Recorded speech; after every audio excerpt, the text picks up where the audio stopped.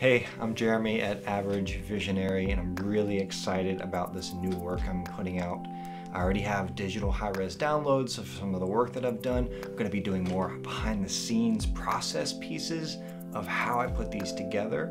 I really want to put more story to each of these pieces and show you guys what goes into it and what my thoughts are and how they come to life. So I'm really excited about all this and I can't wait to share more with you coming soon.